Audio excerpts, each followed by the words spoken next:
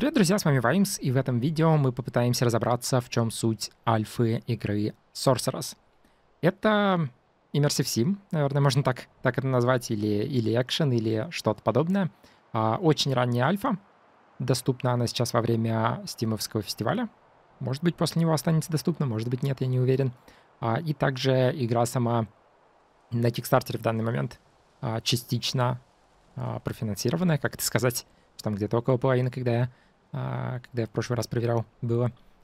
А, около половины достаточно небольшой цели, типа там 20 тысяч баксов, по-моему, или что-то такое. Так что, да, бюджет, видимо, низковатый. А, но эта демка доступна в Steam, опять же, я в нее поиграл, прошел ее где-то за час с небольшим, и, в принципе, она мне очень даже понравилась, потому что эта игра, по сути, пытается быть таким духовным наследником темного мессии меча и магии. А, и это вполне офигенная игра, и, ну, Темный Мессия. И здесь у Sorceress чуть-чуть условно получается быть чем-то похожим. А, но давайте начнем разберемся.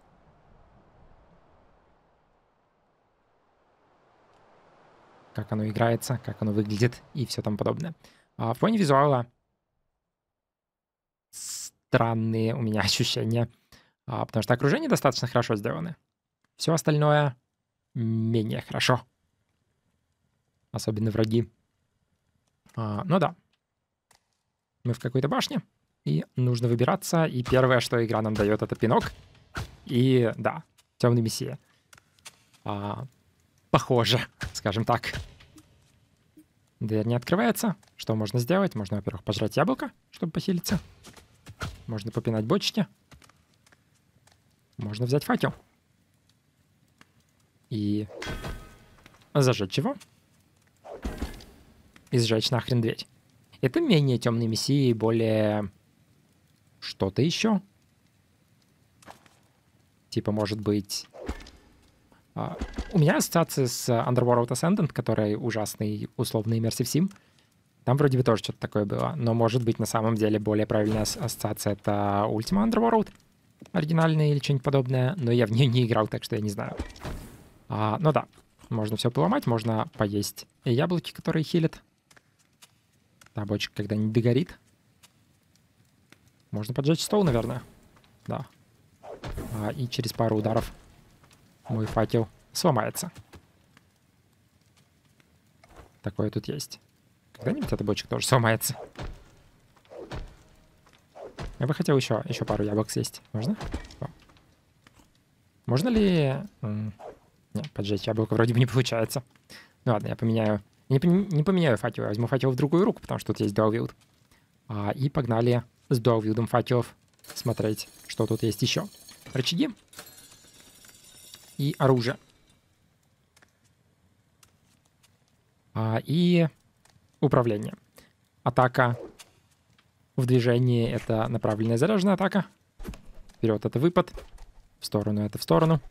А, назад и зажатие атаки — это бросить оружие. И это мне очень не нравится, потому что я за время прохождения этой демки, наверное, там раз 20 случайно кидал оружие, когда я не пытаюсь кидать оружие. А, но погнали, возьмем что-то вместо факела, что-то более оружейное, и сразимся с вот этим вот чуваком. И посмотрим, как работает боевка.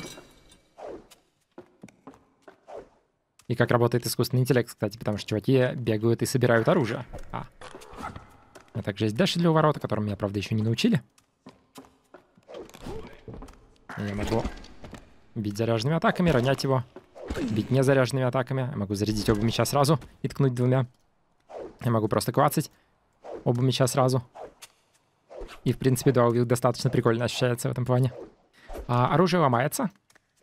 Но, в принципе, с этим нет особых проблем. Типа, каждого оружия хватает, там, может, на, на пару десятков ударов но все или практически все враги вооружены, часто встречаются такие вот стойки с оружием, и все оружие на них, в принципе, примерно одинаковое. Типа, почти на каждой стойке есть мечи и топоры, иногда двуручие, иногда там какие-нибудь луки или еще что-нибудь подобное. И какой-то проблемы с тем, что оружие ломается, не возникает. Ну ладно, вообще, на самом деле, я спущусь сюда и посмотрю, что тут еще было. А, тут было не пройти в другую башню. Зато можно забраться куда-нибудь выше. Там, правда, ничего нет. Но забраться можно. И погнали наверх по лестнице. Немножко платформинга, который странный. Управление... Типа контроля в воздухе тут нет совершенно. То есть я прыгаю, и как только я оторвался от земли, я двигаюсь по фиксированной траектории, на которую я никак не могу повлиять. То есть я не могу там правее или левее приземлиться. Что, в принципе, соответствует физике, наверное, в какой-то мере. А, но не особо соответствует тому, как обычные игры работают и управляются. И это непривычно, и несколько раз я умирал на, на местном платформинге, когда пытаешься куда-то прыгнуть, и перелетаешь немножко. Или не долетаешь. Но не долетаешь — это более понятная проблема. Ну, типа, прыгнуть так, чтобы остановиться ровно на этой бауте сейчас? Ну, это получается, но это сложнее, чем кажется. Потому что если я вижу, что я перелетаю, то я не могу замедлиться. И это не очень приятный момент. А зато очень приятный момент — это возможность пинать врагов.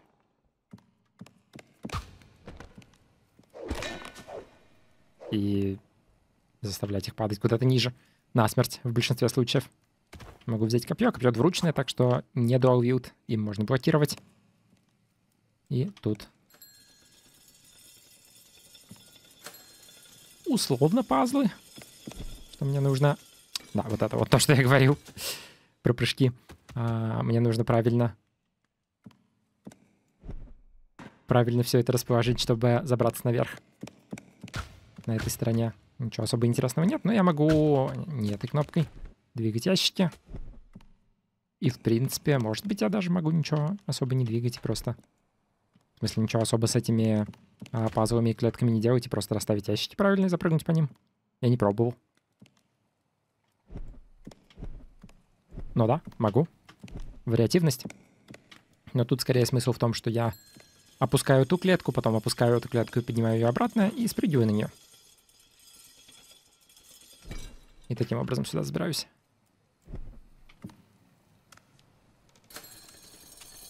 Может быть, мне стоило все-таки взять какое-то оружие, потому что меня среспавнило без него.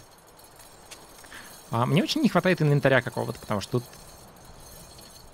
он условно есть в том плане, что у меня будет... Будут предметы, которые у меня всегда есть, и я могу на них переключаться. А, но хотелось бы иметь возможность там взять одну пушку в руки и еще одну куда-то в карман, чтобы переключаться там между двуручным копьем и луком, например, или там дуал-вилдом мечей, луком или еще чем-нибудь таким. Но да. Также в традициях темного мессии, вора и всего такого а, есть всякие условно веревки, цепи. Ну, условно веревки, по которым можно спускаться и платформить. Или что-то типа того. Тут можно взять еще один топорик. А, по дефолту левая кнопка — это правое оружие, правая кнопка — это левое оружие. А, и это можно поменять. Там есть отдельная настройка конкретно на смену этих двух вещей. Я не уверен, как лучше. Потому что оно что так, что так неудобно получается. Но это не только здесь проблема в команде Dishonored. Такая же фигня. А, но зато в плане вот этих вот цепей управления очень интуитивное и понятное, что направления в стороны меня двигают вокруг цепи. Вперед-назад это вверх-вниз.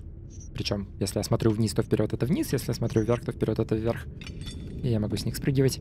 И все с этим хорошо. А, второй топорик. И погнали ниже к врагам. А могу ли я что-то хитрое тут сделать? Я могу сюда запрыгнуть, но он все равно сагрился. Но он ничего не может мне сделать. А я могу кин... кинуть в него топор. Очень условно в него. А, вертикальные броски тут немножко странно в этом плане работают. Типа мой топор срикошетил от стены. Может быть, вплотную к которой я стою, или от пола здесь. Ну ладно. Ну, нет так нет. А, я могу вместо этого пнуть его на шипы и ваншотнуть. Опять же, темный мессия. А, только шипы одноразовые. А, зато если я пинаю... Он застрял в полу. Если я пинаю врага, когда он на земле, то он дропает свое оружие. Но опять же, искусственный интеллект достаточно адекватный в том плане, что они пытаются подбирать новое оружие. Прям совсем адекватным я его не назову, потому что достаточно регулярно враги просто сами спрыгивают в пропасть или что-нибудь подобное делают. Типа, если около какого-нибудь края сражаться то они даже не то, что атакой могут вылететь, а просто вот я там сражаюсь, он отходит из стороны в сторону, и он может устрейфить в пропасть. А, но тем не менее... Сражаться с врагами достаточно прикольно. Хотя и очень... Очень несложно. Ну да.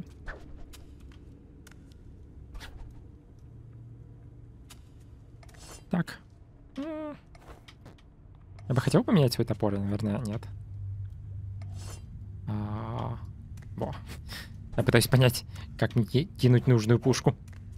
Ну да. А, хотел поменять свой топор на потенциально менее задамаженный топор, но это тоже задамаженный вроде бы. Ладно. И дальше сюда. Поняли level дизайна. Ничего прям особо сверхъестественного тут нет. Но при этом он как бы адекватный для такого первого уровня туториала и для уровня, который после этого доступен более, более открытый. Мы на него потом попадем и про него еще поговорим немножко. Но пока что, я думаю, туториал все-таки стоит немножко пройти.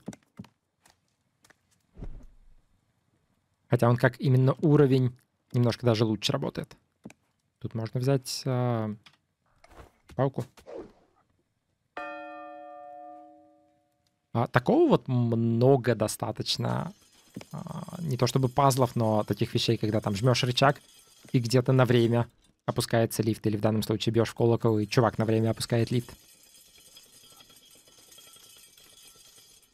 Я не уверен, что это прям хорошо.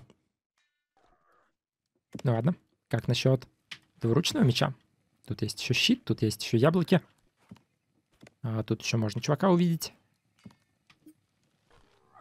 Но двуручный меч лучше. Можно чуть-чуть постелсовать и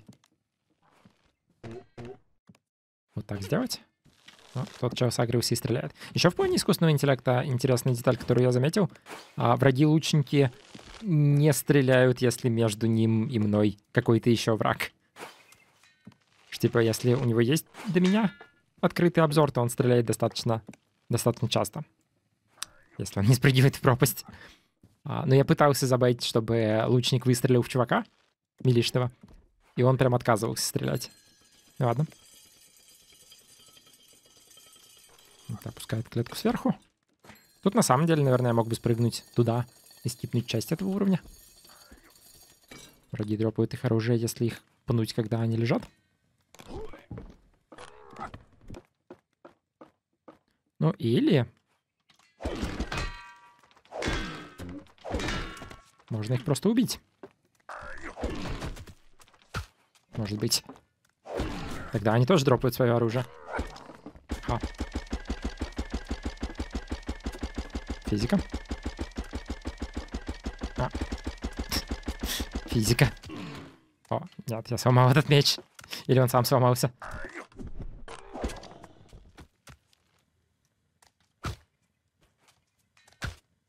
Ну да.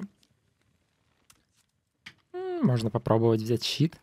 А, у оружия, которое у меня эквипнуто, есть индикация того, насколько она поломана. Справа и слева, рядом с хилдбаром и маной моей, а, иконки моих текущих пушек, и они становятся более вот такими вот по мере того, как оно дамажится. Типа тут еще на пару ударов может быть.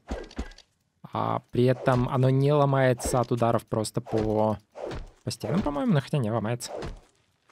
Просто от ударов в воздухе оно точно не ломается. То есть нужно попадать куда-то, чтобы ломать оружие. Ну и, соответственно, щит ломается, если его бьют, и все такое, это понятно. Нога не ломается, так что пинок можно использовать относительно э, нон-стопом, но там есть еще определенный косяк. А, это то, о чем я говорил. Я хочу заряжать атаку, и я хочу отходить назад, но если отходить назад и заряжать атаку, то вместо зарядки атаки я заряжаю бросок. А, но в конце демки можно получить сапоги, которые... Рибкопье, я хотел взять. А, сапоги, которые бьют электричеством. Что, типа они заряжаются от спринта и потом а, при ударе бьют молнией. И это достаточно... Это, это даунгрейд на самом деле. Это делает пинок неюзабельным, потому что молния перескакивает на все, включая на, на оружие, которое у меня в руках, и я его из-за этого дропаю, получаю урон, и, в общем, не рекомендую эти сапоги.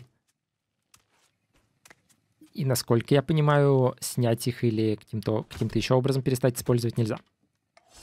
А также я не совсем уверен. Может быть, я что-то пропустил в местных туториалах? я не знаю, как взять оружие в конкретную руку, кроме как выкинуть то, что в этой руке.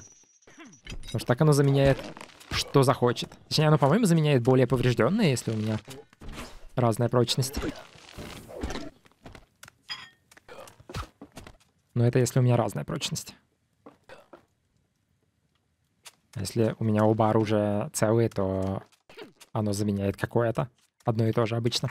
Да, щитом я могу ударить. Мечом я могу ударить. Еще раз. И... Еще раз. Почему ты не в ту сторону упал, чувак? Да, увидеть можно, естественно, все что угодно.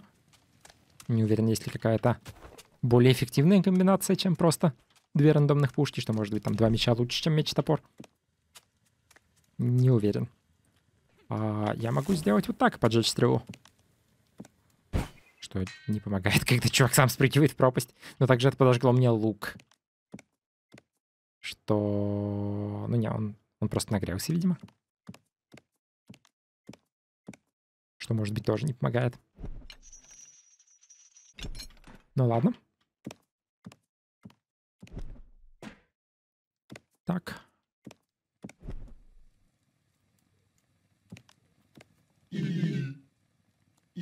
Озвучка такая.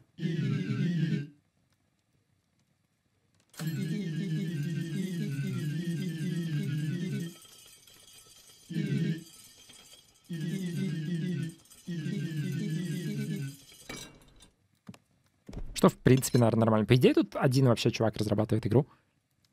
Или, может быть, очень маленькая студия. А, это нужно еще раз нажать.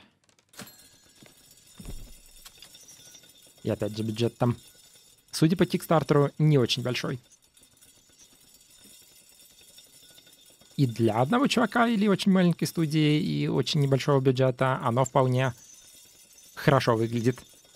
Что типа и визуал приятный, и работает оно нормально. Есть некоторые, некоторые косяки с FPS местами а, на следующей локации. Там в конкретных конкретных местах FPS не то чтобы проседает, но он уменьшается. Типа большую часть демки у меня 120 без проблем вообще. В некоторых местах он падает, и видеоха грузится достаточно сильно. И при том, как оно выглядит, оно вроде как не должно так, так грузиться и так проседать. Но опять же, ранняя альфа. Это условно понятно, что типа оптимизация не закончена, вероятно. Ну ладно. А, плавать можно. Воздух кончается. Все достаточно стандартно в этом плане. С шифтом можно плавать чуть быстрее, но на самом деле я бы предпочел раз в два увеличить скорость подводную, потому что она все равно очень медленно. И тут можно спасти чувака.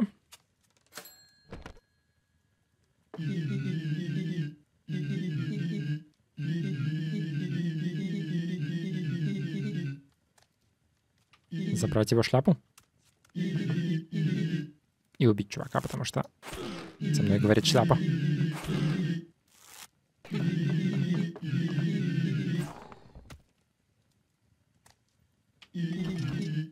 И это пузырь-пушка. И это один из тех, одна из тех вещей, которые у меня всегда эквипнуты, что я могу переключаться.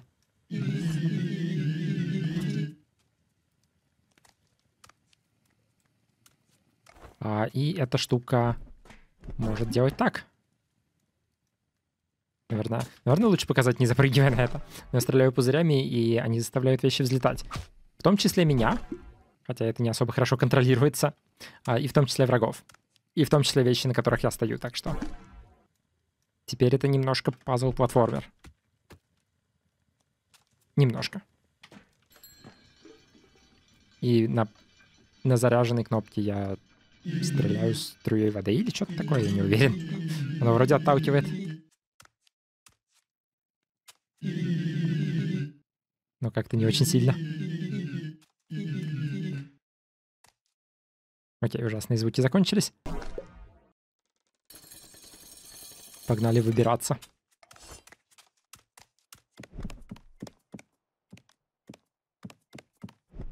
цепь, до которой я не допрыгиваю, и всякие ящики. Я могу сделать башню из ящиков.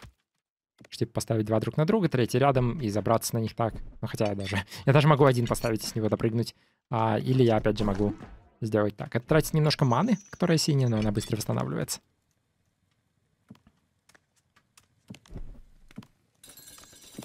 Так. А по сравнению с...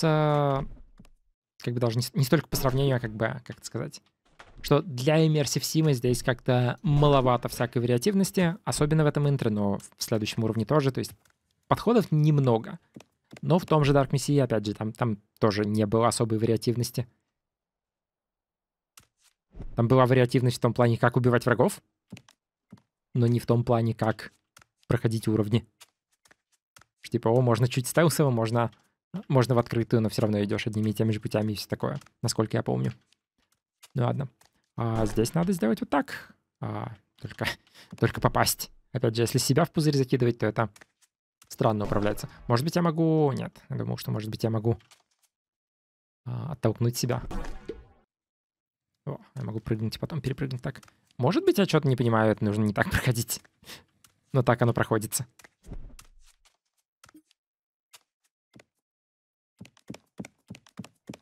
Окей, выше.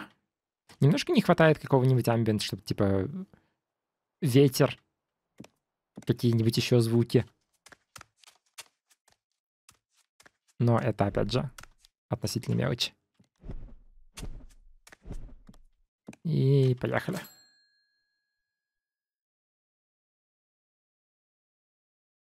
К сожалению, как-то медленная и без эпичной заставки. И дальше она у нас грузит в демо-уровень более полноценный. Тут всякие описания, что добро пожаловать. На локацию мне дали перчатку магическую, которая может либо делать пыщ а, замораживающий, либо если зажать кнопку, то я призываю себе магический топор, который примерно как обычный топор, но магический. А, и также у меня есть зелье, которое я могу, опять же, зажимать правую кнопку, чтобы пить и хилиться. И если Короче, пока я зажимаю, я пью, и оно постепенно тратится. И это прикольная штука. Типа у него тоже условно прочность. А, ну и замок. И тут немножко вариативности того, как это проходится, есть. Хотя не с самого начала. Я могу пойти туда, где чуваки выкапывают какие-то тыквы. А, по-моему, там ничего нет. Также могу ли я просто усовать? Условно. Он не заметит меня, если я в присядку. Ну, это его тоже заморозил. Я не особо пользовался этим призванным топором. Ха.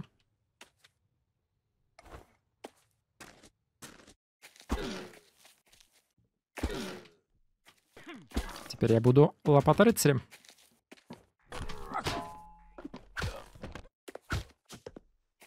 И можно кидать чуваков в суп. По-моему, любая игра, в которой можно кидать чуваков в суп, это хорошая игра. Особенно если со смертельным исходом. Ну да, здесь суп. Здесь еще один чувак спит, и по сути больше ничего нет. А. Я пытался выкинуть лопату. Опять. Потому что я хотел чуть-чуть отойти назад и зарядить атаку. Мне кажется, было бы неплохо отдельную кнопку для броска оружия и отдельную кнопку для заряженной атаки, когда я иду назад. Отсюда это выглядит, как будто можно куда-то туда перепрыгнуть, но я соскальзываю с этой крыши, так что, увы. Может быть, я что-то не понимаю, и там есть на самом деле какая-то секретка. Тут дверь закрыта, так что тут пока что путь один. Огромный замок. Двери, которые открываются по одной. Ну, тут чувак, с которым можно поговорить. Я, наверное, проскипаю, но по сути он говорит во идти, взять ключ, идти куда-то дальше и что-то там делать. И также ему можно приносить а, споры какие-то или что-то подобное, и... Апгрейд хп. А, и он за них как раз дает а, то, что я говорил, сапоги, которые пинают молнией Не рекомендую.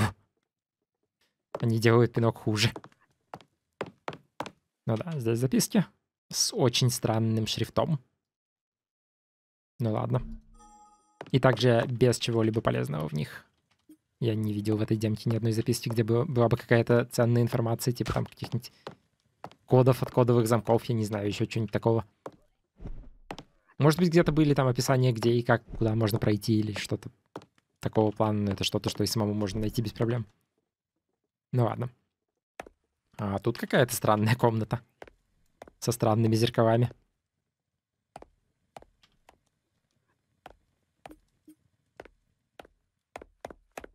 А, ключ, кстати, это оружие, да. Но, к сожалению, особо его поюзать не получится.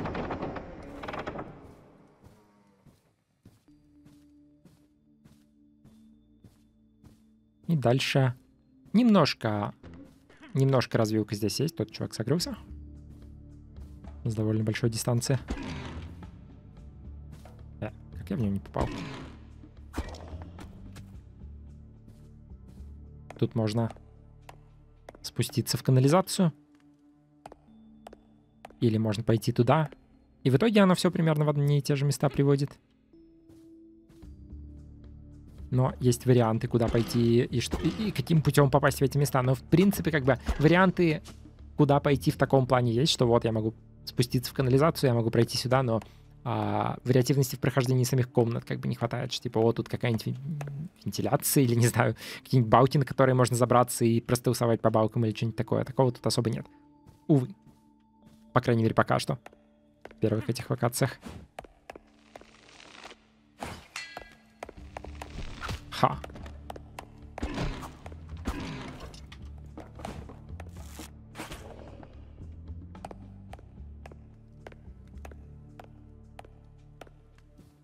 Зато есть очень, очень громкие звуки шагов, которые мне напоминают вора а, оригинального, в которого я почти не играл, но, но тем не менее.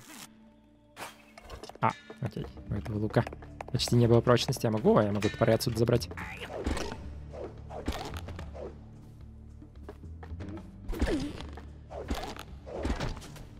Так, кто-то еще на меня агрился. А с разнообразием врагов тоже все не очень хорошо, потому что тут есть вот эти чуваки. А, есть такие же... Видимо, на меня согрелся чувак сверху. А, есть такие же чуваки, а, которые заражены какими-то грибами, и они кастуют какую-то грибную магию, с которыми очень неприятно сражаться, но мы сейчас скоро встретим одного. А, есть один мини-босс, и все. Ну и чуваки есть с разным оружием, конечно, лучники немножко другое делают. Не то же самое, что просто чуваки. Но все равно. Хотелось бы больше в разнообразия. Ну ладно, этим ключом можно это открыть. При этом я почему-то почему-то выровнял топор. Вот, грибной чувак. Вокруг него ауешка дамажащая. А, ты откуда вообще взялся?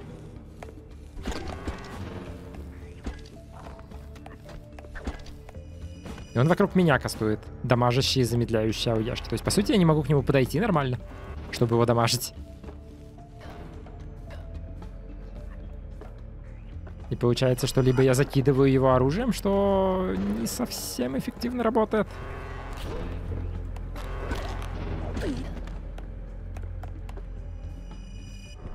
Либо я получаю урон. И ничего с этим не могу поделать. И как бы это еще и замедляет, и он отходит. И ауяшка это не исчезает, даже если его уронить. И хп у него не то чтобы особо мало. Ну, конечно, дамажит на копейку.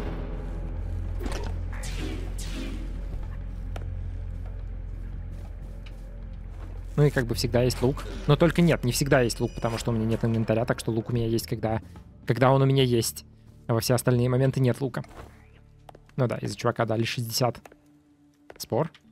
И мне нужно, типа, 100 их, чтобы получить сапоги. Так что нужно второго такого чувака найти. Хорошо, что тот человек не согрелся. А можно для разнообразия попробовать сгонять в канализацию? Поняли у дизайна? игра чуть-чуть что-то подобное Metroidvania или, или что-то Dark подобное, скорее даже, наверное, в плане того, что шорткаты и все такое тут присутствует достаточно массово. Двери, которые открываются с другой стороны. М, там, кстати, было как раз. Так что надо было не спускаться сюда. Надо было выйти на улицу. Убить того чела. Стамина кончилась.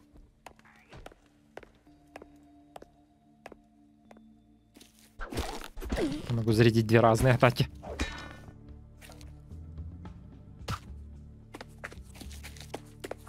И можно открыть эту дверь. Эта дверь в самое начало. Левый дизайн. И таких шорткатов достаточно, как бы. Типа вот та дверь потом откроется. А, до этого там ворота были большие, они, по-моему, потом откроются. Я не особенно помню, где именно. Кстати, можно еще спуститься, и тут какие-то... Какие-то бочки с маслом. Которые, наверное, можно взорвать огненным уроном. Но я не уверен, какой в этом смысл, кроме того, чтобы взорвать их огненным уроном. Типа я не видел тут чего-то, что нужно взорвать этим массовым или какого-то места, где его можно использовать или еще что-то. Ну да, погнали. Спустимся в канализацию. А при этом на локациях есть всякие, не то чтобы секретки, но ответвления, назовем это так, иногда, иногда условно секретки, а, в которых э, спрятаны всякие апгрейды макс хп, макс стамины и всего такого. Также код. Почему нет? А, здесь будет не шорткат, здесь мини-босс, к которому нужно с другой стороны попасть. Вот здесь вот будет шорткат.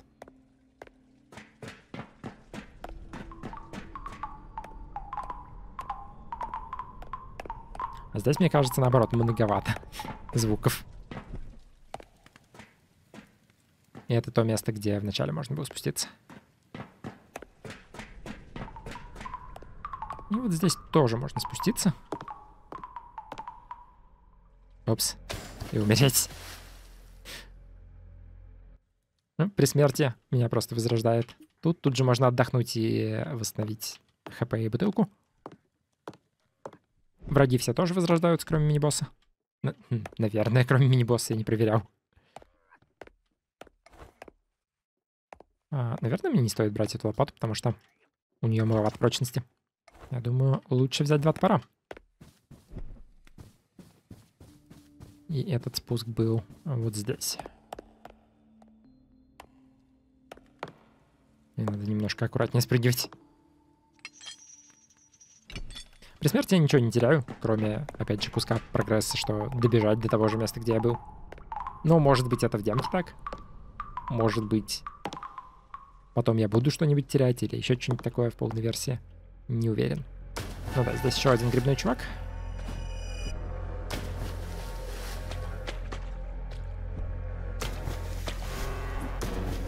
Почему-то заряженная атака вперед у топоров это выпад, что не выглядит прям супер полезным.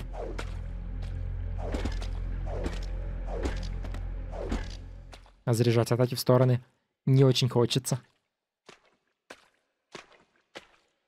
Ну да, копье, меч. Это все, конечно, хорошо. Наверное, можно взять одно копье.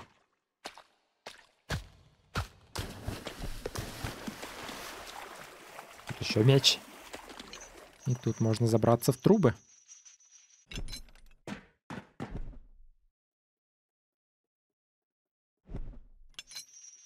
Это меня выведет к какому-то увеличению хп, по-моему, или чему-то такому. Короче, какому-то... Хм. Нет, нет. Значит, я путаю это место с каким-то другим, это просто меня выведет назад. Видимо, грибы считаются моим апгрейдом. Тут чуть развилку можно пройти вперед, можно проплыть в сторону, приводит меня в одно и то же место. Но чуть-чуть разными путями.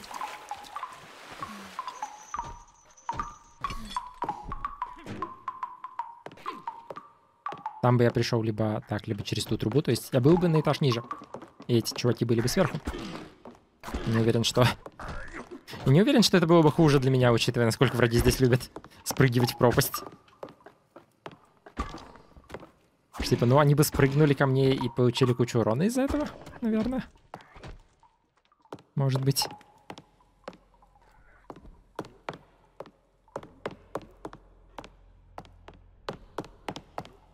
Есть ли здесь еще что-нибудь? Вроде бы нет.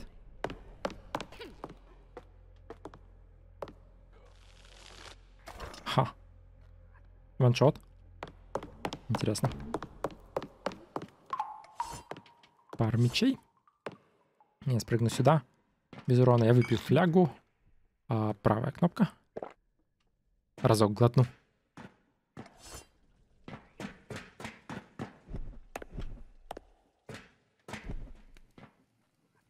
Тут еще один грибной чувак. А грибные чуваки, по-моему, не рисуются.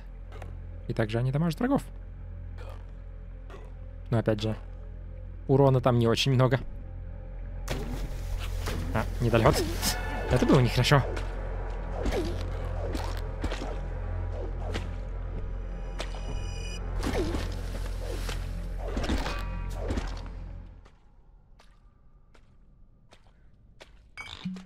Не можно еще отпить.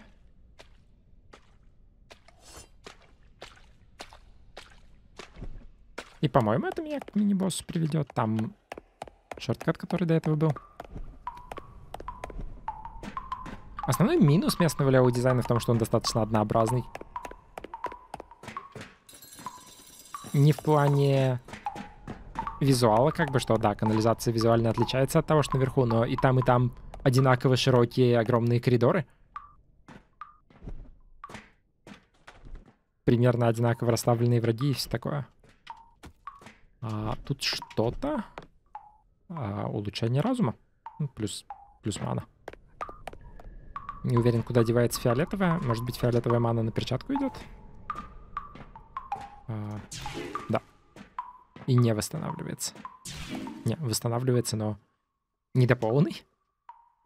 Или Mind Upgrade это только на синюю ману, может быть так. Ладно.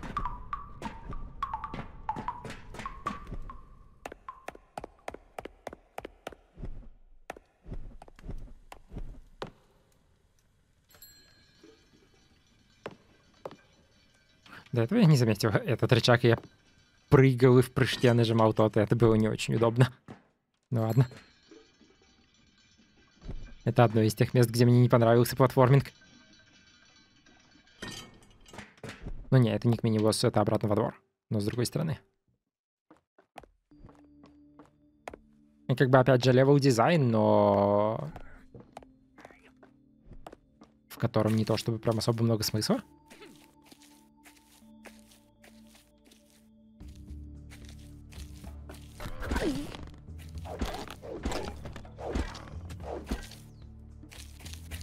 Часть врагов здесь не среспаунилась, кстати. Или я их... Ну не, я их убивал. До того, как умер. Так что, может быть, некоторые враги рисуются. Чё?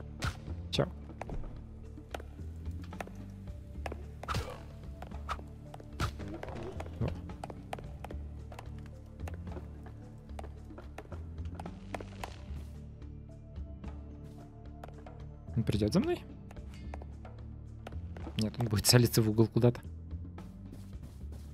Я могу взять электросапоги, чтобы показать, как оно работает. Если я вспомню, как попасть к мини-боссу, то я, наверное, хотел бы к нему попасть и показать его. Но с этим есть некоторые проблемы. Тут можно еще послушать всякие вещи. А, но не, я хочу электроспаги.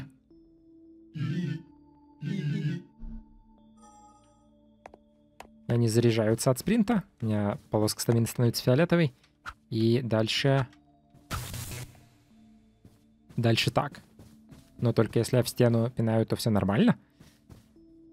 Если я пинаю не в стену, то все несколько хуже. Ну, тут был чувак. Тут было несколько чуваков, видимо.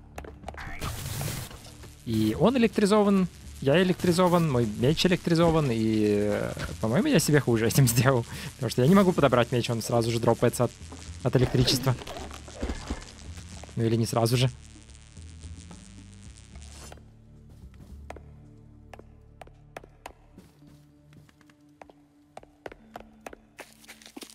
Ну, в общем, да. Не уверен, что это апгрейд, и оно не отключается, насколько я знаю, по крайней мере. Так что теперь пинок бесполезен. Или менее полезен. Зато можно дропать яблоки с деревьев.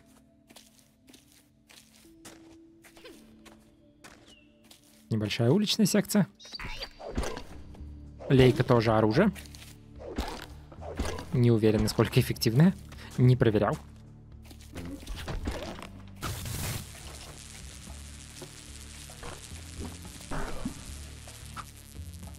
Пузыри тоже оружие.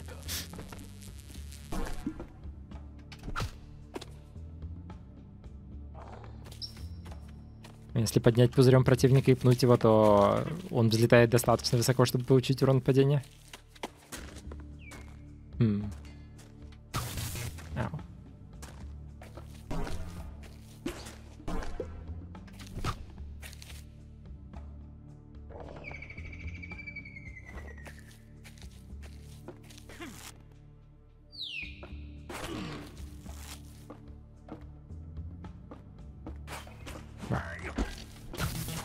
Будешь? О, я сломал дерево. Я сломал дерево. То есть тут я, в принципе, мог бы эти деревья сломать и через них пройти. Ладно. В фоне звукового дизайна мне нравятся шаги. Мне не очень нравится все остальное. А, нет, мне, мне нужно вот туда.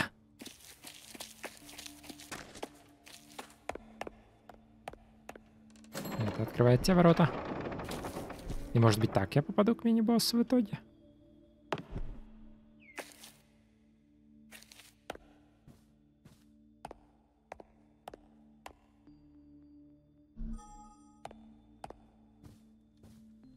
Тут слегка развилка. Хм. Да, если я пойду наверх, то это не к мини-боссу, но там апгрейд, который позволяет парить. Или что-то такое. А если я пойду сюда?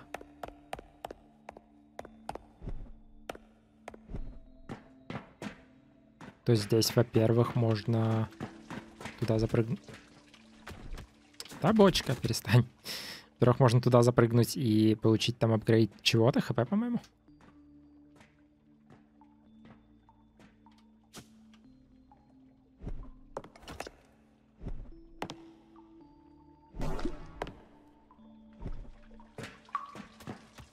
Стамина.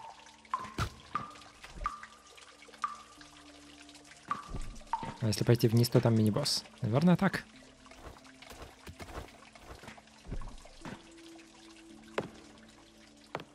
Надеюсь. Да.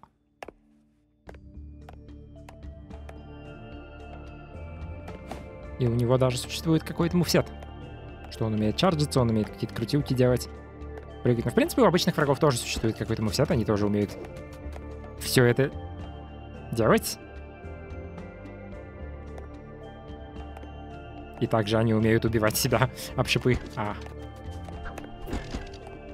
Это... Это тут у всех хорошо получается. Также мини-босс с одного пинка не, не роняется обычно. Может быть, электризованного пинка лучше. Хм, а что насчет пузырей? Окей. Электричество в комнате, где много металла, это может быть не очень, не очень хорошо. Для всех, кто находится в этой комнате.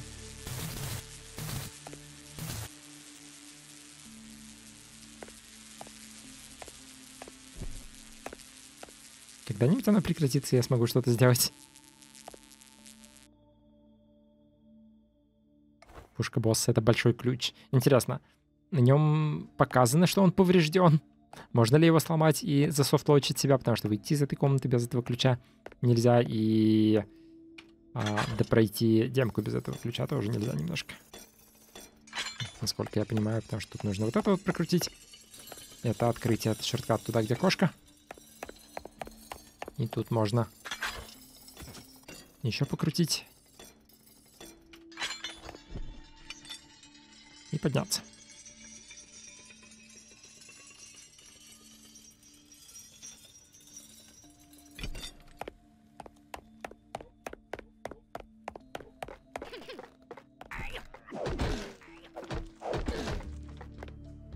Ну, сейчас на нем, кстати, нет, нет отображения, что он поврежден. Может быть, если он сломается, то он просто среспаунится там, где, где мини-босс был. Не уверен. Все горит? Тоже не уверен. Но это ворота, которые были где-то в начале. Вроде бы.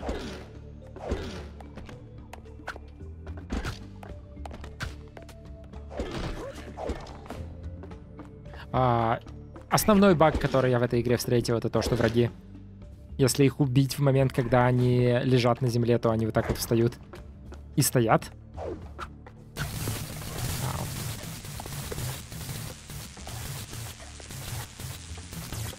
За что?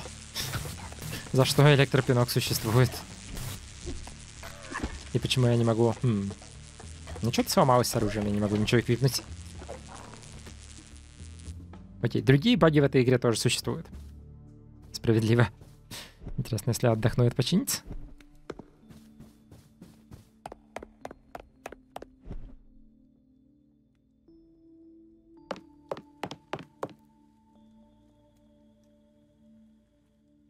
Видимо, нет. Потому что у меня все еще нет оружия в руках.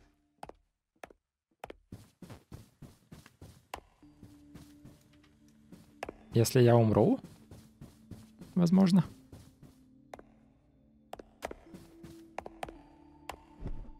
Для этого нужно найти кого-то, кто существует.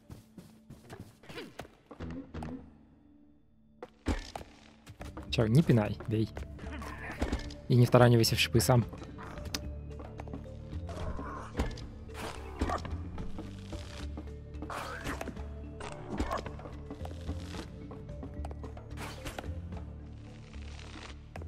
Бочку я тоже не могу взять.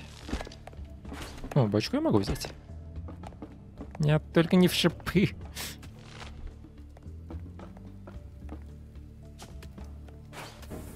О. И она не взорвалась от этого.